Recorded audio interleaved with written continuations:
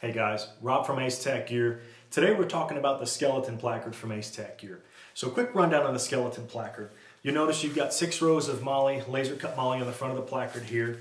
You've got some ability to tie in some elastic cord, paracord, whatever kind of lashing you want, so that if you want to have some retention for your magazines, your radios, whatever mission specific stuff that you put on your main pocket here, you can do that.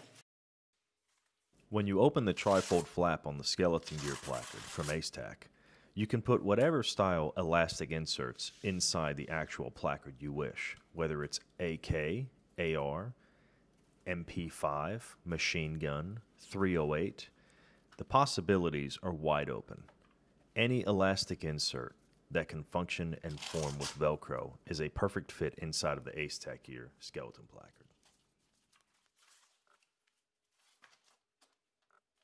So as you can see, we've got some AK inserts over here. We've got some AR-15 inserts. We've got some MPX, Glock, MP5 inserts that can go into them.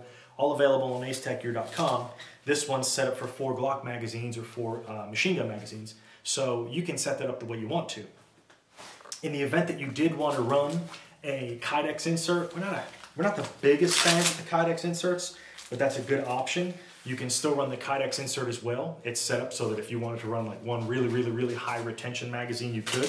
And then all you would do is you just fold the back side of the skeleton placard up here. You'd set it back to where you want it to be.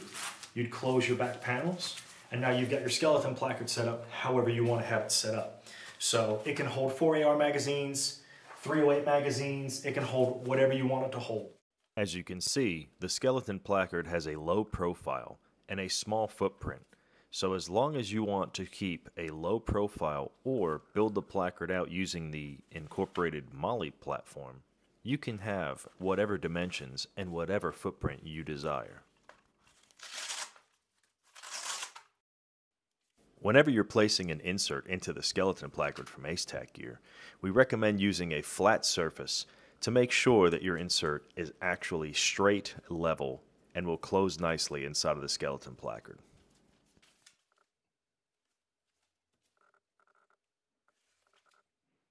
The new skeleton placard from Ace Tac Gear, something we're pretty proud of. We hope that you guys like it.